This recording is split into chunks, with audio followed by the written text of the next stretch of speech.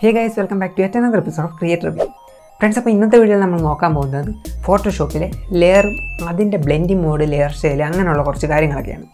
അപ്പോൾ കഴിഞ്ഞൊരു വീഡിയോയിൽ നമ്മൾ ഫോട്ടോഷോപ്പിന്റെ ബേസിക് ടൂൾസും കാര്യങ്ങളൊക്കെയാണ് പറഞ്ഞത്.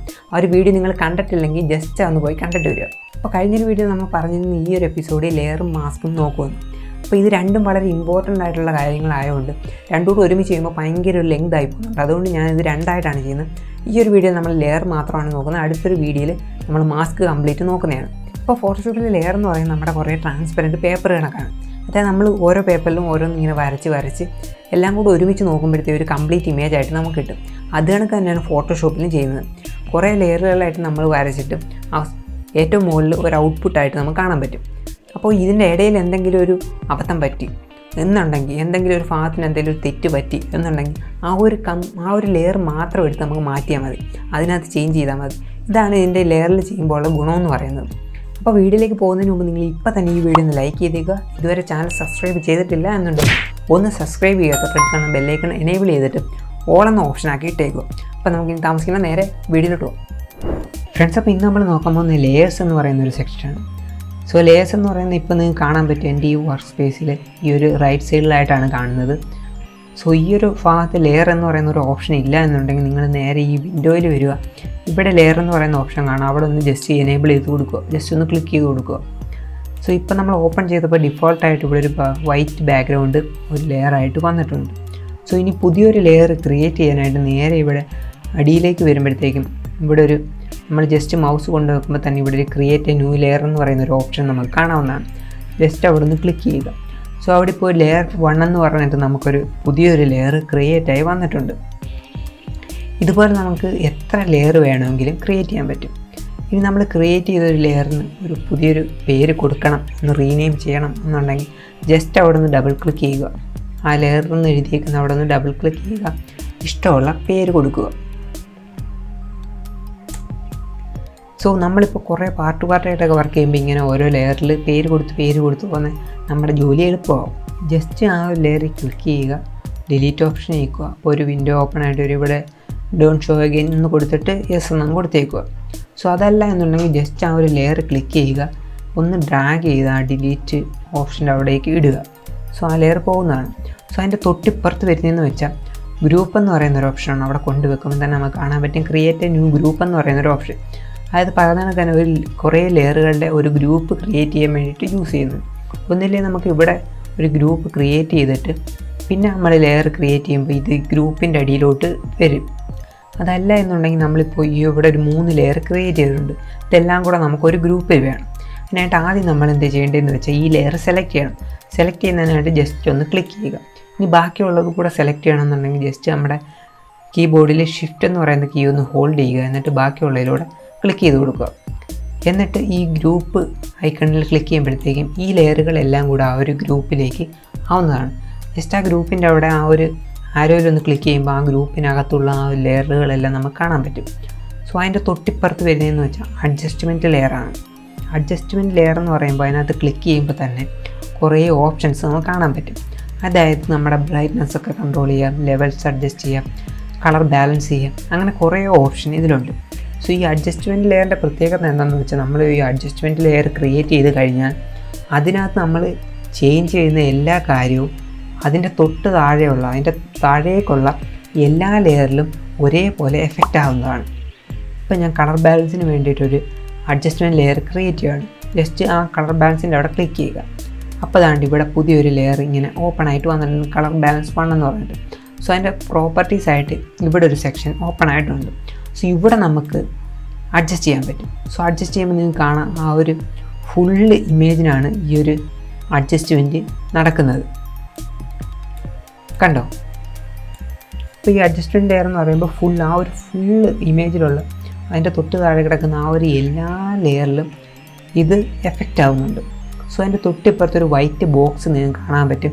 ഇത് മാസ്ക് ആണ്. ഇതെന്താണെന്ന് നമ്മൾ അടുത്ത വീഡിയോയുടെ ഡീറ്റെയിൽ ആയിട്ട് നോക്കുന്നതാണ്. നമുക്കൊന്നില്ലേ അഡ്ജസ്റ്റ്മെന്റ് ലെയർ ഇവിടെ നിന്ന് എടുക്കാം. അല്ലെങ്കിൽ നമ്മുടെ വിൻഡോയിലും ഇതിനുള്ള ഓപ്ഷൻ ഉണ്ട്. അതുകൊണ്ട് ഇവിടെ വരുമ്പോൾ അഡ്ജസ്റ്റ്മെന്റ്സ് എന്ന് പറയുന്ന ഒരു ഇതുണ്ട്. ഇത് ക്ലിക്ക് ചെയ്യുമ്പോഴത്തേക്കാണ്ട് ഞാനിപ്പോൾ അഡ്ജസ്റ്റ് ലെയർ ഇവിടെ ആണ് ഇട്ടേക്കുന്നത്. നമുക്ക് എവിടെ വേണമെങ്കിലും കൊണ്ടിടാം കേട്ടോ. ഇവിടെയൊക്കെ കൊണ്ടിടാം. കുഴപ്പമൊന്നുമില്ല ഞാനിപ്പോൾ ഇവിടെ സേഫായിട്ട് വെച്ചിട്ടുണ്ട്. സോ അതിന്റെ തൊട്ടിപ്പുറത്ത് വരുമ്പോഴത്തേക്കും മാസ്ക് ആണ്. അത് നമ്മൾ അടുത്ത വീഡിയോയിൽ ഡീറ്റെയിൽ ആയിട്ട് നോക്കും. അത് കഴിഞ്ഞിട്ട് അതിന്റെ തൊട്ടിപ്പുറത്ത് വരുന്നതെന്ന് വെച്ചാൽ ലെയർ സ്റ്റൈലാണ് അപ്പോൾ നമുക്ക് ഈ ഒരു മാംഗോയുടെ ആ ഒരു ബേസ് അതിനകത്ത് ഞാൻ ഒന്ന് ക്ലിക്ക് ചെയ്തിട്ട് അതിന് ഒരു ലെയർ സ്റ്റൈൽ വേണം. ഒരു സ്റ്റൈൽ വേണമെന്നൊക്കെ വിചാരിച്ച് ഒരു എഫക്ട്സ് വേണം. സോ അതിനായിട്ട് ഞാൻ ആ ലെയർ ഒന്ന് ക്ലിക്ക് ചെയ്യുന്നു. എന്നിട്ട് ഈ ലെയർ സ്റ്റൈലിൽ ക്ലിക്ക് ചെയ്യുന്നു. അപ്പോഴത്തേക്കും കുറേ ഓപ്ഷൻസ് ഇങ്ങനെ വരും. Stroke inner shadow inner glow അങ്ങനെ കുറേ കാര്യങ്ങൾ വരും. അതിപ്പോൾ എനിക്ക് സ്ട്രോക്ക് വേണം എന്നുണ്ടെങ്കിൽ ഞാനിവിടെ സ്ട്രോക്കിലൊന്ന് ക്ലിക്ക് ചെയ്യുമ്പോഴത്തേക്കും പുതിയൊരു വിൻഡോ അങ്ങോട്ട് ഓപ്പൺ ആയിട്ട് വരും. സോ ഇവിടെ ഇപ്പോൾ നമുക്ക് കാണാം ആ സ്ട്രോക്കിൽ ക്ലിക്ക് ചെയ്ത് അതിനകത്ത് ഇവിടെ ഒരു ടിക്ക് മാർക്ക് വീണിട്ടുണ്ട്. സോ ഇത് കണക്ക് തന്നെ നമുക്ക് അടുത്തതിൽ ഇങ്ങനെ ക്ലിക്ക് ചെയ്യുമ്പോഴത്തേക്ക് അതിനൊരു ടിക്ക് മാർക്ക് ഇങ്ങനെ വീഴുന്നതാണ്. സോ ഈ ടിക്ക് മാർക്ക് വീഴുമ്പോൾ അത് എനേബിൾ ആയി എന്നുള്ളതാണ്. സോ ഞാനിപ്പോൾ ഇവിടെ സ്ട്രോക്ക് എനിക്ക് അഡ്ജസ്റ്റ് ചെയ്യണമെങ്കിൽ അപ്പോൾ അതിന്റെ തൊട്ട് ചെല്ലിട്ട് വരുമ്പോൾ അവിടെ നമുക്ക് അതിന്റെ സൈസ് കൂട്ടുന്നേ ഒപ്പാസിറ്റി കൂട്ടുന്നേ അതിന്റെ കളർ ചേഞ്ച് ചെയ്യുന്നേ അങ്ങനെ ഒരുപാട് ഓപ്ഷൻസ് ഇവിടെ നമുക്ക് കാണാൻ പറ്റും. ഇത് കണക്ക് തന്നെയാണ് inner shadow inner shadow options കിട്ടാനായിട്ട് അതിനകത്ത് ജസ്റ്റ് ഒന്ന് ക്ലിക്ക് ചെയ്യുക. നേരെ അതിന്റെ ഓപ്ഷൻസൊക്കെ വരുന്നതാണ്. സോ ഇങ്ങനെയുള്ള കാര്യങ്ങളാണ് ഈ ലെയർ സ്റ്റൈൽ പാനലിൽ വരുന്നത് നിങ്ങൾ ജസ്റ്റ് ഇതൊക്കെ ഒന്ന് ട്രൈ ചെയ്ത് നോക്കുക. സോ ഇതിപ്പോൾ നമ്മൾ ചെയ്ത് കഴിഞ്ഞിട്ട് നമുക്ക് അവിടെ ഒരു ചേഞ്ച് ചെയ്യണം എന്നുണ്ടെങ്കിൽ ജസ്റ്റ് ആ ഒരു ആ ഒരു ലെയറിന്റെ തൊട്ട് താഴെ തന്നെ എഫക്ട്സ് എന്ന് പറഞ്ഞിട്ട് നമുക്ക് ഇവിടെ കാണാൻ പറ്റും. അപ്പോൾ നമുക്ക് ഇവിടെ വെച്ച് തന്നെ ഈ ഒരു ഐ ഉണ്ടോ ഐ എന്ന് പറയുന്നത് നമുക്കത് ഹൈഡ് ചെയ്യാനും ഒക്കെ ആയിട്ടുള്ളതാണ്. ജസ്റ്റ് ആ ഒരു ഐയിൽ ക്ലിക്ക് ചെയ്യുമ്പോഴത്തേക്കും ആ ലെയർ ആ ഒരു ഇതെന്ന് പറയുന്നത് ഹൈഡ് ആവുന്നതാണ്. അത് തന്നെ ഈ ലെയറിന്റെ ഈ സൈഡിൽ കാണുന്ന ഐ നമ്മളത് ക്ലിക്ക് ചെയ്യുമ്പോഴത്തേക്കും ആ ഒരു ഭാഗം അങ്ങ് ഹൈഡ് ആകുന്നതാണ് സോ നമുക്കിപ്പോൾ ആ ഒരു ചേഞ്ച് ചെയ്ത ആ ലെയർ സ്റ്റൈൽ മാറ്റണമെന്നുണ്ടെങ്കിൽ ജസ്റ്റ് ആ ഒരു എഫക്റ്റിലൊന്ന് ഡബിൾ ക്ലിക്ക് ചെയ്താൽ മതി. അപ്പോൾ ആ ഒരു വിൻഡോ പിന്നെ ഓപ്പൺ ആയിട്ട് വരും. അവിടെ നമുക്ക് പിന്നെ ചേഞ്ചുകൾ ചെയ്യാം. സോ ഇനി അടുത്തതെന്ന് പറയുന്നത് മേളിലോട്ട് വരുമ്പോൾ ഇവിടെ നമുക്കൊരു ലോക്ക് കാണാൻ പറ്റും. അതായത് നമ്മളിപ്പോൾ ഒരു ലെയറിൽ ഇനി അതിനകത്തൊന്നും മാറ്റമില്ല അതിനകത്തൊന്നും മാറൽ. അത്യാവശ്യം ഒന്നും മാറൽ എന്നുണ്ടെങ്കിൽ ജസ്റ്റ് ആ ഒരു ലെയർ സെലക്ട് ചെയ്യുക. ഇവിടെ ഈ ലോക്ക് ഒന്ന് എനേബിൾ ആക്കി കൊടുക്കുക. അപ്പോൾ ഇനി നമുക്ക് ഒരിക്കലും ആ ഒരു ലെയറിൽ ഒന്നും ചെയ്യാൻ പറ്റത്തില്ല. ഈ ലോക്ക് മാറുന്നത് വരെ അതായത് ജസ്റ്റ് തിരിച്ച് ഒന്നുകൂടെ അതിനകത്ത് ഇവിടെയോ അവിടെയോ ഒന്ന് ക്ലിക്ക് ചെയ്യുമ്പോഴത്തേക്കും ആ ലോക്ക് അങ്ങ് മാറും. സോ പിന്നെ നമുക്ക് ചേഞ്ച് ചെയ്യേണ്ട ആവശ്യം വരുമ്പോഴത്തേക്കും അവിടെ ലോക്ക് മാറ്റിയിട്ട് നമുക്ക് ചേഞ്ച് ചെയ്യാവുന്നതാണ്. പിന്നെ അതിന്റെ തൊട്ട് മുകളിലെന്ന് പറയുമ്പോൾ ഒപ്പാസിറ്റിയാണ് ആ ഒരു ലെയറിന്റെ ഒപ്പാസിറ്റി അതായത് ആ ലെയറിന്റെ ട്രാൻസ്പെറൻസി അത് നമുക്ക് കൂട്ടാനും കുറയ്ക്കാനും പറ്റും. സോ ഇവിടെ ഒന്ന് ജസ്റ്റ് അഡ്ജസ്റ്റ്മെന്റ് ചെയ്ത് കൊടുത്താൽ മതി. സോ അതിന്റെ തൊട്ടിപ്പുറത്തോട്ട് വരുന്നതെന്ന് വെച്ചാൽ ഈ നോർമൽ എന്നൊക്കെ പറഞ്ഞു കിടക്കുന്നത്.